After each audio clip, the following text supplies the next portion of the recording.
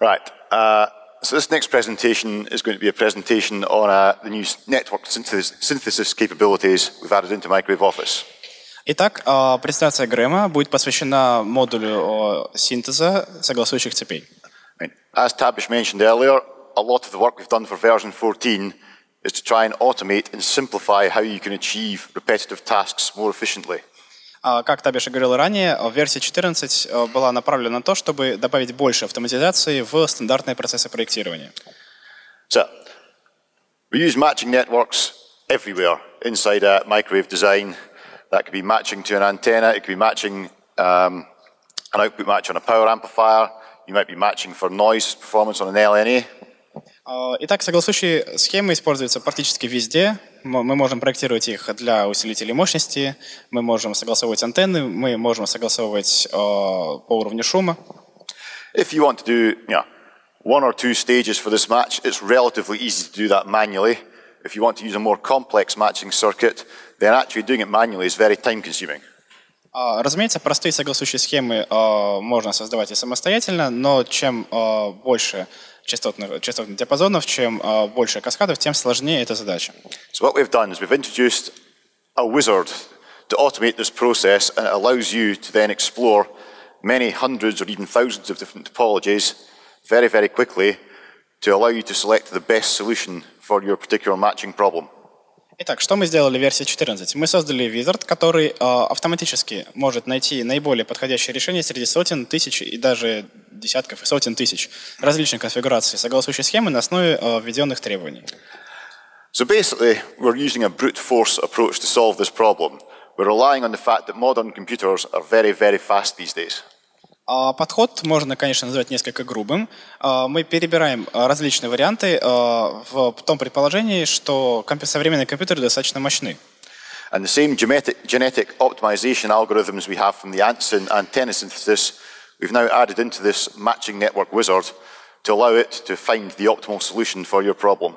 А, но при этом используются современные эволюционные алгоритмы, о которых будет сказано чуть позже, которые позволяют а, найти наиболее подходящее решение за относительно короткое время. And this genetic algorithm basically uses a trial and error approach to test out the best solution.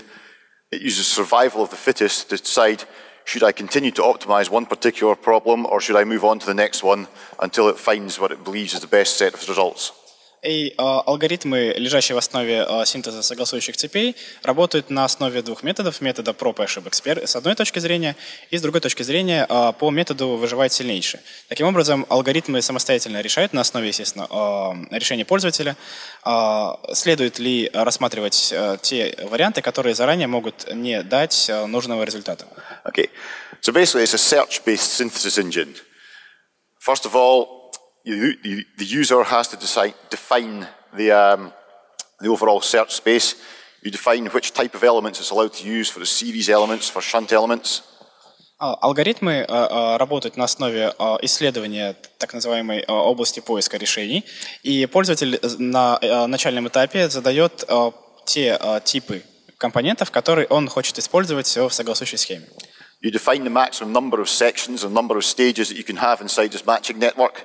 And then the engine will actually explore every single possible combination of those elements and numbers of stages. Помимо этого, пользователь задает количество, максимальное количество секций, которые он готов использовать в конструкции согласующей схемы. И после этого алгоритмы начинают поиск решения, перебирая различные комбинации этих элементов. So you can see very quickly that the more flexibility we give the synthesis engine, the number of possible solutions expands exponentially. И, разумеется, чем больше мы зададим возможных типов компонентов и секций, тем больше и больше с каждым шагом возможностей для конфигурации согласующей схемы мы получаем для каждой секции. So, in order to try and limit the amount of time it spends optimizing all these hundreds, thousands, millions of possibilities, we use some simple rules to try and actually reduce the size of the search space contain the problem into a manageable set of solutions. Разумеется, чтобы задача не превратилась в задачу с миллиардами различных вариантов, мы вводим некие ограничения, некие правила, придерживаясь которых мы сможем создать задачу вполне решаемую в обозримое время на, для пользователя. So we can take into account some practical considerations. For certain um, problems, you may want to insist on having a DC open or a DC short to ground. We want to limit the component sizes, the component ranges. So we can actually add a lot of um, constraints into the wizard to make sure that it's limiting the search space to only viable solutions that you're likely to want to manufacture. Итак, в интерфейсе Wizard есть множество различных вариантов, которые позволяют нам ограничить область поиска решений, будь то DC-параметры, согласующие схемы, будь то ограничения, накладываемые на значения используемых компонентов и их параметров, также влияние цепей смещения питания и ограничения, связанные с тем, какой из элементов мы хотим видеть в согласующей схеме первым или последним. So, what happens is the uh, The synthesis wizard will test out a solution with a single stage. It will look at the possibilities for that. It will then try a two-stage network and analyze all the possibilities available from there, and so on to the maximum number of sections. Итак, как работает алгоритм? Он сначала рассматривает возможные варианты для одной секции, сортирует их э, по э, качеству, затем э, добавляет вторую секцию, рассматривает возможные варианты, сортирует их и так далее до достижения наибольшего количества секций, которое было задано на этапе ввода спецификации. So test each of those possible topologies. It will then optimize each of those topologies and then sort them in order from best to worst. Каждая из полученных комбинаций оптимизируется и сортируется по соответствию заданным спецификациям. And then you define a cutoff region as a user to say, how many possible topologies do I want to then take to the next stage and carry on optimizing further? Пользователь может ограничить рассмотрение некоторых из комбинаций, задав границу, ниже которой решения отсекаются, а остальные продолжают рассматриваться в следующих возможностях секциями. So as a user, you can then trade off um, how much time it spends optimizing versus potentially the search depth, the size of the uh, analysis, trading speed versus uh, you're getting a solution faster. И, разумеется, здесь идет речь о компромиссе между скоростью получения решения и их качеством, поскольку чем больше вариантов возможных мы посмотрим, тем больше вероятность, что мы получим качественную, качественную согласующую схему. Но это может быть в ущерб скорости моделирования. So, rather than carrying on the slides, let's actually just look at the um, the wizard itself. Но вместо слайдов лучше посмотреть на пример работы Wizard вживую. So, if you come down to our um, into our project here, come down to our wizard section, we can find our network synthesis wizard.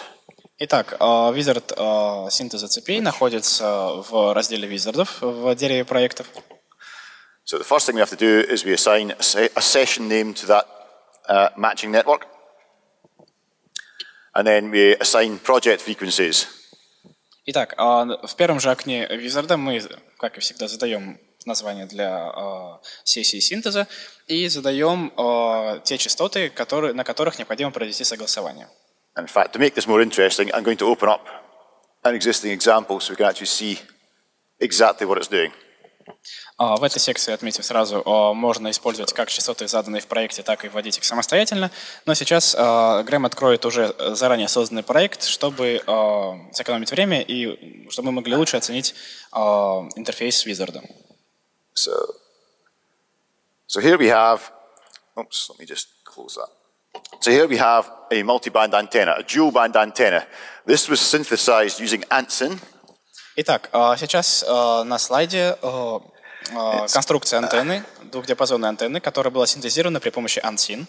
So this is one of the many strange topologies available within ANSYN. It gives us nice dual band response, um, and we want to now create a matching network to optimize Это пример одной из так называемых странных конфигураций антенны, которые есть в библиотеке ANSYN.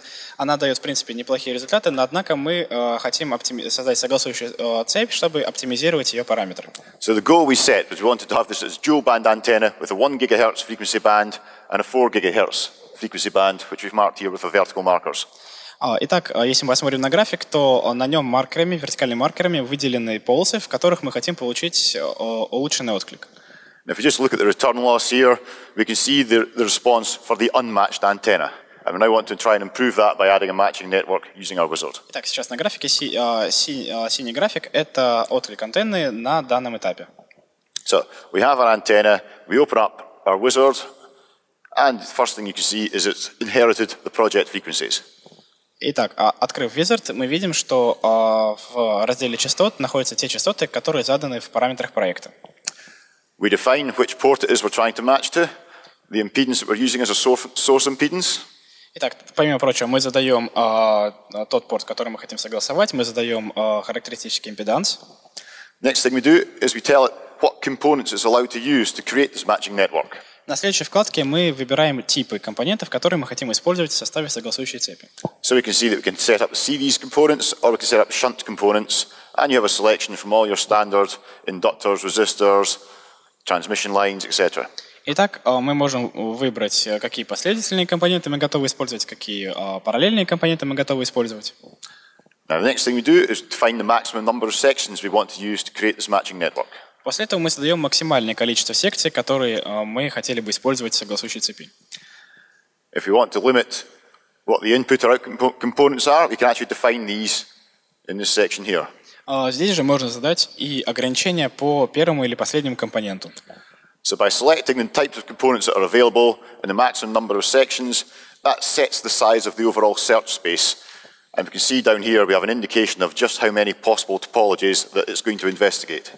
И как только мы задали подобное ограничение, а, здесь же мы можем посмотреть, а, сколько различных вариантов а, топологии конфигурации согласующей цепи для каждого, для каждого числа секций мы можем рассмотреть. So in this case, if we had no other constraints set, there would be up to three and a half million different possible topologies being investigated. Так, например, для восьмисекционной э, схемы э, мы можем рассмотреть порядка трех с половиной миллионов различных вариантов. So the next step is to actually define some parameter limits. We want to limit the ranges for each of the uh, types of parameters. На следующей вкладке мы задаем ограничения на значение параметров. So if I double click on anything, I can then set up a range that's available. I can tell it to use continuous values, to use discrete values. Здесь можно задать э, численные ограничения, а также указать, э, является ли ряд э, непрерывным, или же он соответствует каким, какому-то ряду, как э, заданному вручную, так и э, из э, ряда номиналов. I can pick from predefined lists of standard manufacturing series, or I can define my own custom list myself. I can tell it to round to specific values. I have a lot of flexibility here. Ну и, разумеется, можно задавать э, значения вручную. And it's, you can set it uh, individually for both the series or the shunt elements. И задавать подобные ограничения можно отдельно э, для последовательных и для параллельных компонентов. So we can do that for each of the different types of components available, and that helps reduce the size of the search space to make your optimization faster. И а, под- на- наложение подобного рода ограничений э, положительно способствует скорости получения готовых решений на выходе. Next, we can define if we want any special conditions at the ports themselves. Do we want to have an open or a short circuit, for instance? А, Также а, на следующей вкладке мы можем задать а, параметры а, DC ограничения для портов. Is there a DC bias circuit that's going to be affecting this matching network? If so, do we want to include that in the analysis? Также мы можем а, учесть влияние а, цепи питания. So that's defining the overall size of the search space. Now we actually get round to defining the problem itself. Итак, мы а, создали область поиска решений и теперь переходим а, к а, поиску а, этих самых решений. So we want to actually configure what is it we're wanting to analyze and then optimize against to get the best performance from this antenna. So I have to set up a measurement first of all. Uh, that measurement is pointing at my uh, EM document directly. So I can point at any schematic, any EM document, anything within my microwave office project. Итак, как и все в Microsoft Office, все основывается на измерениях. а, И а, в первую очередь мы добавляем новые измерения. И а, в данном случае для согласования к антенне мы можем использовать сам электромагнитный документ антенны, то есть ее структуру в качестве входных данных для синтеза. In this instance, I'm going to choose the measurement called net match, and that's going to actually optimize for mismatch loss. А В данном случае мы используем а, измерение NetMatch, а, которое будет оптимизировать значение а, рассогласования.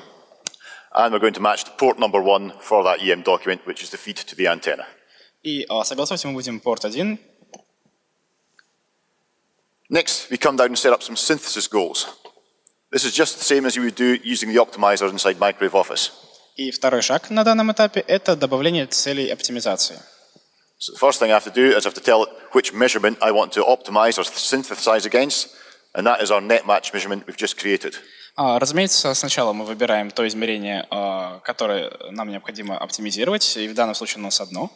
Just like the optimizer in Microwave Office, we set the frequency range. So in this case, we want to set up an optimization from 0.95 gigahertz to, to 1.05 gigahertz to optimize for this 1 gigahertz frequency band.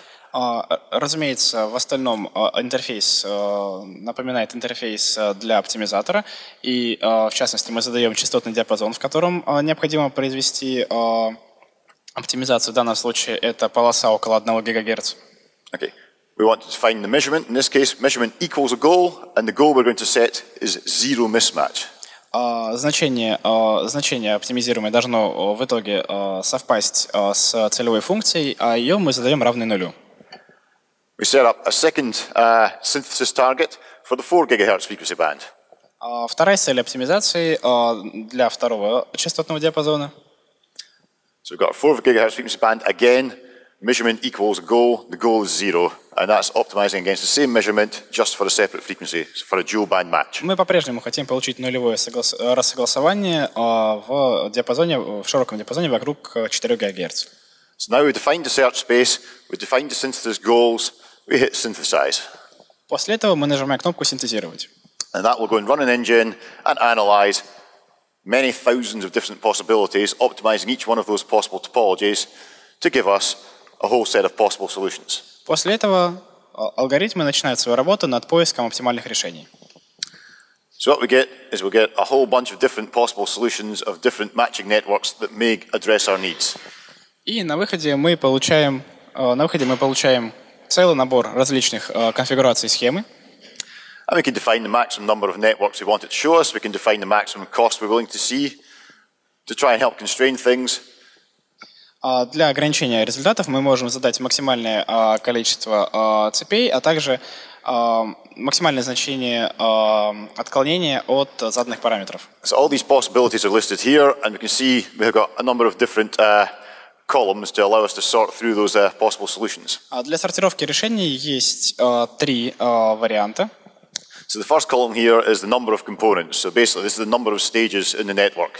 А, И первый из них это а, первый первый из колонок вот, сортировки это количество компонентов, то есть по сути количество секций в согласующей схеме. I can choose to sort by cost.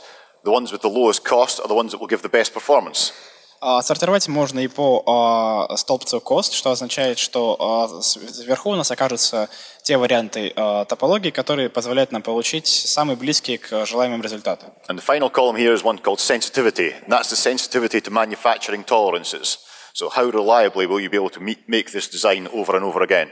И последний столбец – это столбец а, чувствительности или надежности, который показывает, насколько а, чувствительна схема к а, а, отклонениям в значениях параметров, то есть насколько надежна она будет при реальном производстве. So with that information, we can look at the cost, we can choose what we believe to give the best performance, we can look at the most reliable performance, and we can look at the number of components to also take cost into account or area into account to allow us to choose which ones we want to carry on with. Итак, на основе трех этих параметров мы можем выбрать а, те конструкции схемы, которые, по нашему мнению, будут либо наиболее эффективны, либо наиболее надежны, а, и выбираем их при помощи галочек в таблице. So I've selected the top five options here. I would simply click to Microwave Office, and then it will export those possibilities into the Microwave Office project. Итак, выбрав подходящие, а, интересующие нас а, варианты, мы нажимаем кнопку «Перенести в Microsoft Office», и а, эти схемы импортируются в а, особом формате в а, проект. And what it will do is we'll actually generate a little report page for each one of those, where we have the, um, the actual matching network itself, and we have the results for that network. А, И а, для наглядности мы можем создать а, отчет, о котором говорил Табиш. Здесь мы отобразим как саму схему, так и результаты ее моделирования. And we can compare and contrast the different circuit topologies, and we can see the results updating on the graphs live, so we can help choose the best topology for our application. И просто кликая по этим схемам в ам, в дереве проектов, мы можем сравнивать их а, конструкции и а, результаты, которые мы получаем а, по сравнению с, а, а, как с друг другом, так и с начальным, а, с начальным откликом антенны. As we can see here, the blue trace is the original antenna without any matching. The red trace is the performance of that antenna with the matching added. А, ну и, как вы помните, синяя линия а, соответствует локальку антенны, а, а красная линия — это антенна с согласованием.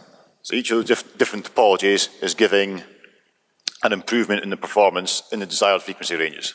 Ну и, а, как можно заметить, а, все из полученных вариантов а, значительно улучшают отклик антенн.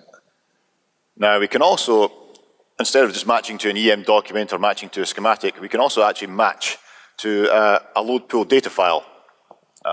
А, Следующий вопрос будет интересен для разработчиков усилителей мощности, поскольку при проектировании согласующих цепей в качестве входного документа можно использовать данные load pool. So if you have a load pool data file, either from a synth- um, simulated load pool or measured load pool from a Focus or a Maori system, we can use that as the, um, the data source that we want to then match towards. А Если есть а, файл а, данных load-pool, полученный либо а, от моделирования а, модели транзистора, либо а, на основе измеренных данных, а, мы можем использовать его в качестве входных для синтеза согласующих цепей. So here we have a transistor here with a load pool data file with um, six different frequency points contained in that file. А, В файле данных load-pool а, можно заметить, а, есть а, 6 частот. And if we just uh, look at the, uh, the results for that, here we can see we've plotted some contours on a Smith chart. А, Сейчас на слайде а, диаграмма Смита с а, контурами, а, соответствующими измеренным данным. So the blue trace here is uh, plotting power added efficiency. So we're plotting the regions on the Smith chart where the power added efficiency is greater than 63%. Так, синий контур это PI, это КПД добавленной мощности, который мы хотим, чтобы превышал 63%. The red trace is where we have our output power, and again we're plotting contours for output power greater than 51 dBms. А красные контуры — это выходная мощность, и мы хотим, чтобы она превышала 51 dBm. And so what we're actually interested in is the overlapping region here where we know we can get the best performance from this transistor, this power amplifier in this case.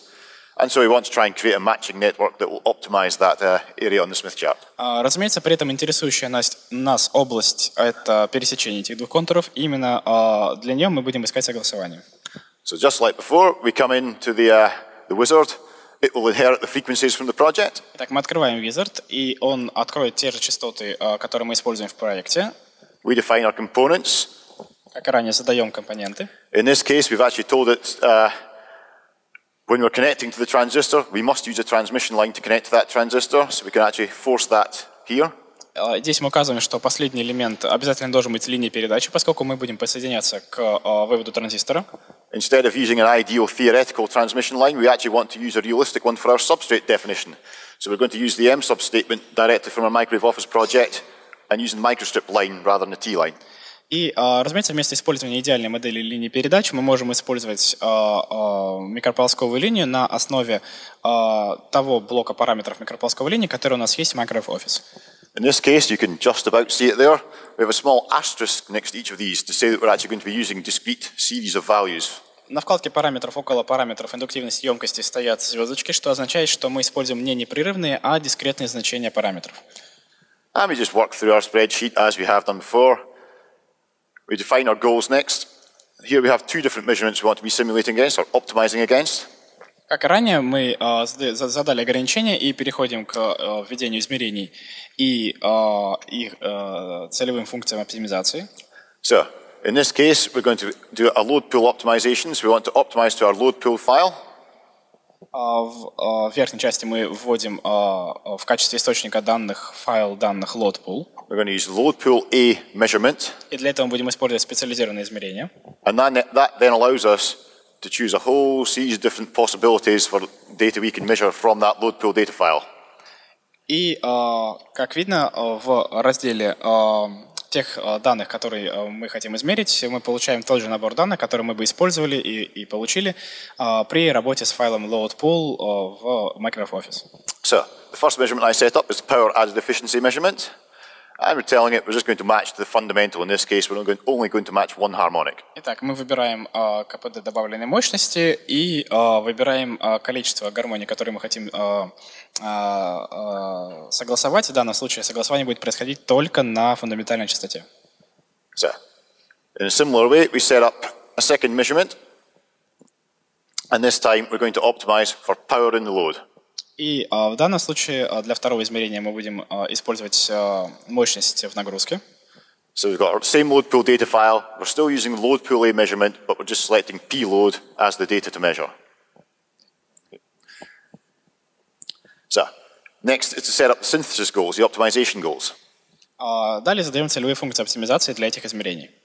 So again, we select, uh, in this case, we've got selected our um, power in the load. Итак, а, в данном случае мы выбираем измерение. А, Здесь это а, мощность нагрузки. It's optimizing over the entire frequency range. It's only those six frequencies from the data file. Оптимизируем во всем диапазоне, а, во всех а, шести а, частотах заданных в файле. And we're setting this time measurement to be better than goal, greater than the goal, and the goal is 51 dBm output power. И сейчас мы хотим, чтобы результаты были лучше, чем целевая функция оптимизации, и границу ставим э, в а, 51 dBm. Similarly, we have a second uh, target. We want the measurement to be greater than 63% power added efficiency. А для КПД мы хотим превышение значения в 63%. We hit synthesize, and then we get to the results as before. Нажимаем кнопку «Синтезировать» и получаем результаты.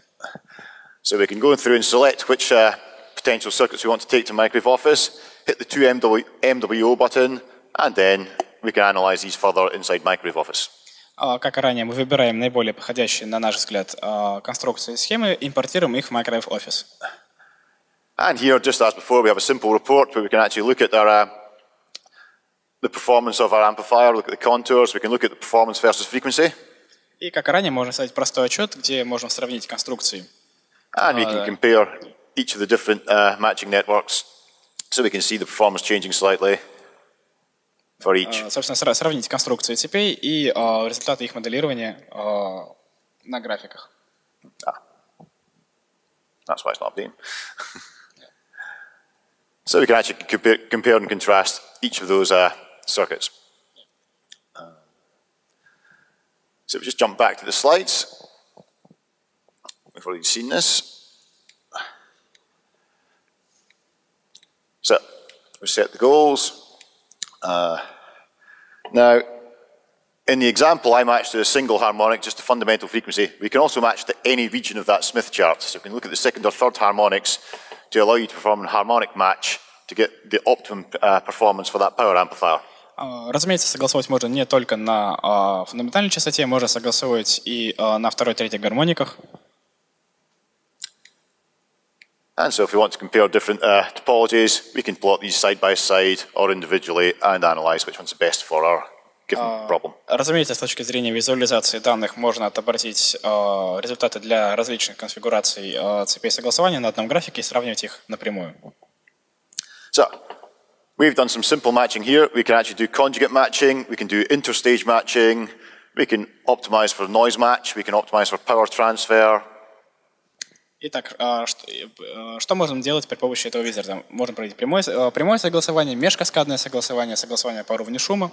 And we can match for single frequencies. We can match for broadband frequencies or even to dual or multiband matching. А Согласование можно искать для одной частоты, для а, нескольких частот, для сверхшироких полос, для нескольких диапазонов. So we've added a synthesis, a matching network wizard into Microwave Office. It's using a genetic algorithm to try and find the best possible solution for your uh, given task. Итак, а, резюмирую все вышесказанное.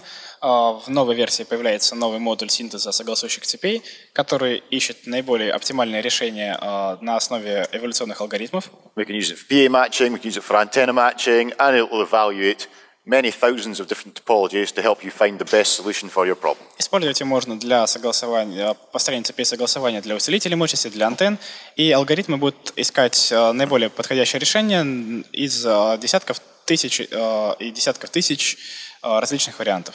So that's a quick introduction to how the, uh, the new synthesis capabilities in version 14